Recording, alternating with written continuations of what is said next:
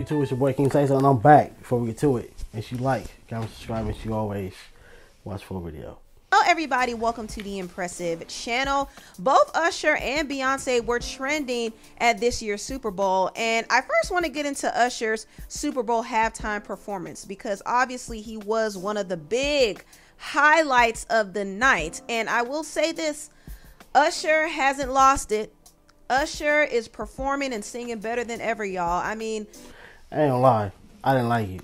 It was like listening to the radio, bro. Like you know how, how the radio snippets a song, just the good part of it. He he previewed or he snippeted like ten songs in like with like fifteen seconds. Like it was cool, but it could it would have been better if he would have snippeted the song, performed one whole song, snipping one towards the end, did the thing with uh you know with, uh, with Lil Jon and um, Ludacris and, and her and all, all other things. But like when he was coming in, that was just too many quick songs. The man is just goaded. He's goaded. He's an R&B legend and I really enjoyed his halftime show. I think the thing that really sold this halftime show for me is Usher's talent. Honestly, Usher didn't need all of the big stage props. He didn't need all of the different distractions. It's his talent that sold the show, his dancing and his singing. And it's the fact that his mic was on for me. Like, as much as he was dancing, he was singing live. He wasn't using no playback, no pre recorded vocals, no auto tune, no special effects. That was all his voice. And I was very impressed, but I also wasn't surprised by it because I did get a chance to see Usher live in Vegas. So I know that he performs down. This is nothing new, but I really thought that he brought his A game here and he just came to prove to the world. Yeah, I think for him, he still loves what he do. Like I said, like I said uh, before, like when it comes to something that you're doing, if you're if this is something that you love to do, it's not a job. This is not a job to him. This is life. This is like breathing. This is second nature.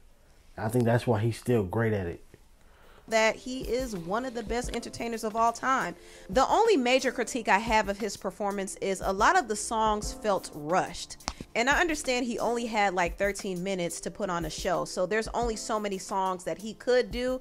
But a lot of the songs that he tried to squeeze in just was too rushed for me. But other than that, I thought he gave a great show. He brought out Ludacris, Jermaine Dupri, and Lil Jon for the Yeah performance, and that was definitely the highlight of the show. And he also brought her out, and she played the guitar, and her did her thing. Oh, she God. played during Bad Girl, and she also played during You Got It Bad. She really did her thing. But unfortunately, I do have to critique Alicia Keys a little bit. And I'm not going to be too hard on Alicia. I know people were coming for her vocals, but it has to be pointed out. I think her vocals were not particularly strong in this. Right. You got to understand, she's singing a song that's 20 years old. She hadn't been through life. Life didn't happen. She made that song probably when she was 20 some years old. I am not, I don't, like, what's her, how old, is, how old is she? How old is Alicia Keys? 40. Look, she probably made that song when she was 22 years old. Like, come on, bro. Like, of course, your voice from when you're barely hitting puberty. I mean, not barely hitting puberty, but like, for girls, for, for girls, like, yeah, 20 something, like, yeah, y'all still getting ready. That probably sounded weird. But you, I get, I get what I'm saying with that. Like, she was still young life didn't ha- life didn't happen. She didn't been through ups and downs of life. She had kids and marriage and drinking and whatever else. Voice is not gonna be the same as it was twenty years ago, for real. Performance, she especially when you got a sweet voice like her. if I ain't got you, and also my boo, and her voice was a bit strained. I was like, ugh, I don't know, Alicia, this is not sounding too great. But Usher saved it. And Usher was doing a little bit too much when he was dancing and trying to grind on Alicia. She's a married woman, and Usher is about. Bro, I didn't like that. I ain't gonna cap, bro. But it, it, even with uh with Swizz Beatz response, like, oh, y'all looking at the wrong thing. Come on, y'all worried about the wrong thing. Y'all should been worried about how long the dress was and the, the beautiful performance. We not worried about negativity. We making history. Like I feel that, but this is too much, bro. Like all right, if it's like a um a music video, an actual music video, I'm an artist. I'm not even if I'm an artist. My girl's artist. It's a music video. All right, I'm gonna, take that on the chin because hey, this, this this work. It's gonna make the video go up. Oh, okay, okay. Especially if they do like a say a remix to the video or something. All right, I'm gonna give you that. But this is a Super Bowl halftime show. No, this is not that shit. Like as soon as when she walked past Usher and he looked at her butt, I already knew what he was on. Instantly, bro, I knew what he was on. Like, like, bro, like everybody's looking at you, bro. Alicia is a beautiful curvy woman. It's not no stick figure. So therefore, we know what you're looking at. And then like all the grabbing and like, bro, that's to me. I'm not going for that. For me and my girl, no. In a again in the midst of a music video, okay, I'll take that. If um uh, if if she's an actor in a movie, I'm gonna take that. Okay, if it's a commercial, mm, all right. But for this, no. For a halftime show? No, my boy. Especially when you already been known at his shows to be doing this exact thing to people's to people to to either people's girlfriends or people's uh wife. Like, why you gonna go for somebody that's single? You want to go to people that's like, come on, bro. Like, I wouldn't fit of that. To get married to his girlfriend too, so he's just doing too much. He always on somebody's lady. but overall, I thought the show was good and it just solidified the fact that Usher is one of the best performers of all time. No debates, he's one of the best. And since we're talking about Usher, I do want to briefly talk about his new album coming home. I have to be honest, I was disappointed. And I was disappointed because I anticipated Usher to come with a strong album. But to me, the album was giving me Vegas Usher. It wasn't giving me classic R&B Usher. The songs were just kind of mid and generic. And it didn't seem like he had any real musical direction with this project. It seemed like he put it together real quick to capitalize off of his Super Bowl moment. So I wasn't really feeling it. I was a little disappointed because my expectations were high for Usher. However, I will point out some positives in the album. There are a few good songs on there. I do like A Town Girl featuring Latto. I mean, it's a cute little TikTok song. I can see it being a little TikTok bop. Also, I think Kissing Strangers bop. is a nice song for pop radio, you know. I also like I Love You and Please You. Even though the song sounded a bit generic, I still liked it. It sounded good. He also has this song called Stone Cold Freak. it's like I like it, but I don't like it. It's weird. It just sounds like um, a throwaway Chris Brown song from eight years ago, if that makes sense. But it's catchy. It is catchy. He also has this pop song with Jungkook called Standing Next to You. And I like the song too. It kind of sounds like a repackaged Michael Jackson song, but I do think it was one of the better songs on the album. And also the song Good Good with Summer Walker and 21 Savage was yeah, good like as well. But the songs that really, really, really stood out to me was Risk It All featuring her. I really like that one. I but the it. song I love the most is Ruin featuring Pheelz. Ruin is a smash hit song, and I think it was very smart for Usher to release this as a single because it has that Afrobeat vibe mixed with R&B, and that's really the wave right now. So I thought that was very smart, and the song just sounds amazing. I think it's a smash hit. It's probably going to take some people some months to catch on to it, but it has the potential to be a big song for Usher, and I hope he really pushes this song because it's the best song on the album. Now, I do want to ask the question Did Usher throw shade at Chris Brown on this album? I think he did. Now, in his song I Am the Party, he said, Ends Tom Bow verses with me. Please stop. I know you think he's the Bay, but he's not. I don't know if that, I don't know. It might be, but y'all be trying to compare people who are like, I ain't about like talent wise or because they hey they both super talented, they both can sing, they both can dance like super crazy. It's like, but it's like comparing. Like if we uh, this this if we looked at it as, as basketball, comparing Jordan to Kobe or according to to uh, Kobe to Jordan, these are total different eras. These are total different eras, bro. Like they came in the game two different times.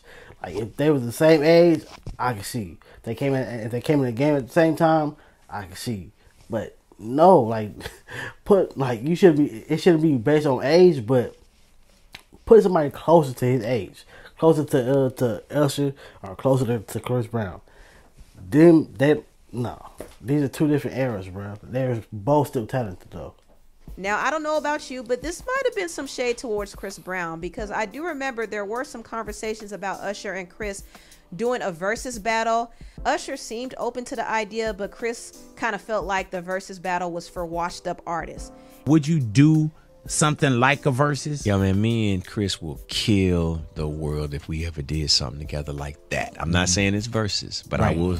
I'm gonna just say this: if that ever happens, it'll be one of the biggest things that anybody has ever experienced in entertainment. my whole position on the on the versus thing is, is like it's cool, it's dope what it's doing with the culture, but I, I feel like where I'm at in my in my quarter of my game, like I'm not down 20 points. You feel me? Like so, I feel like me doing that would be like, okay, you know, I'm about to hang it up. So uh, that's a real, real you know, what I'm? This- you basically saying you smoking everybody. I'm smoking. You know what I'm saying?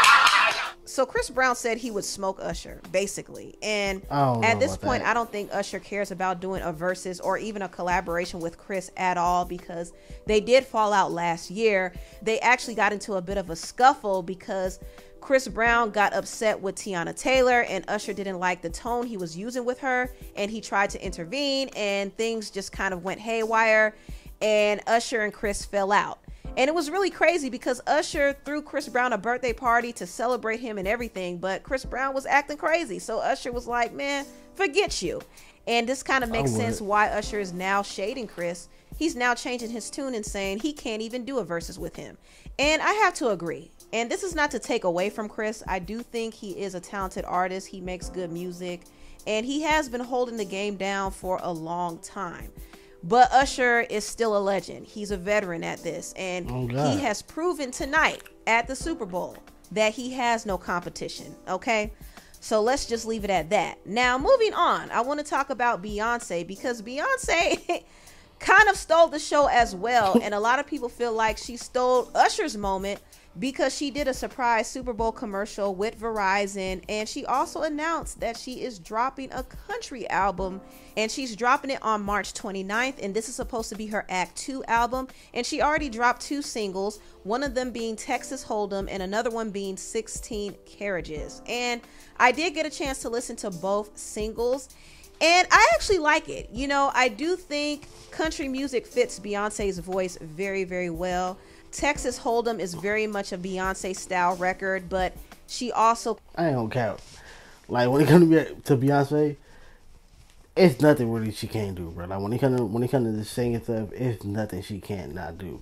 I hate that that we put artists in in a category to where they can't go venture out and do certain things. Like how I think K. Michelle wants to do country music, but I think her label or the fans or, or whatever don't want her to do it. But it's like, bro, if she can do the song and it sounds good, what's the problem? I don't know. Like, I don't get it. came with the authentic country vibes.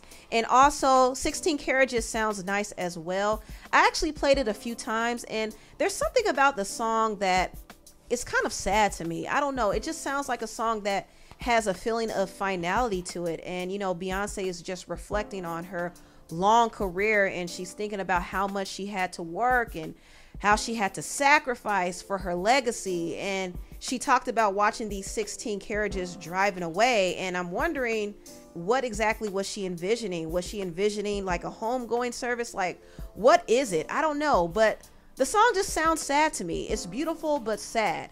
But aside from that, I do think it's really cool that Beyonce is actually doing a country music album.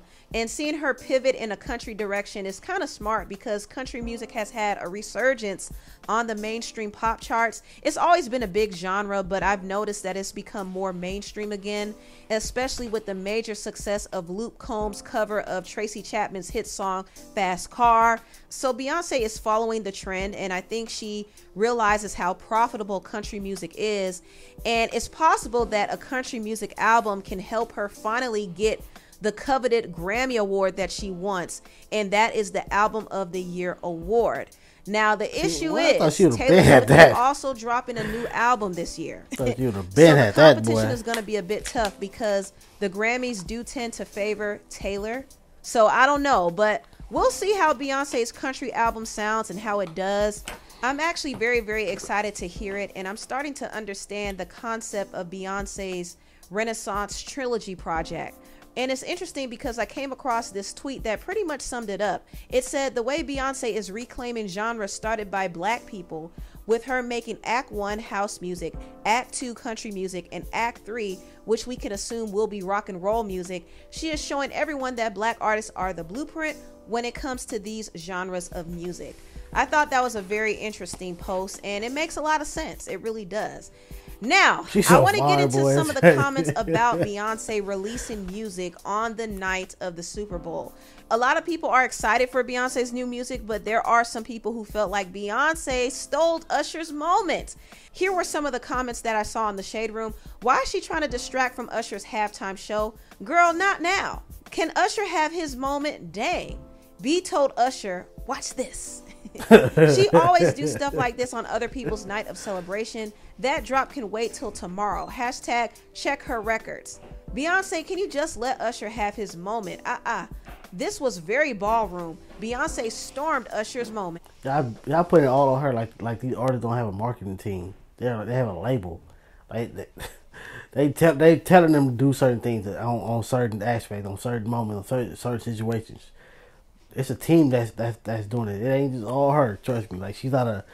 I don't want to say independent, but I don't. She's not an independent artist, bro. Like she has a team. She has a marketing team. She, she has a promotion team.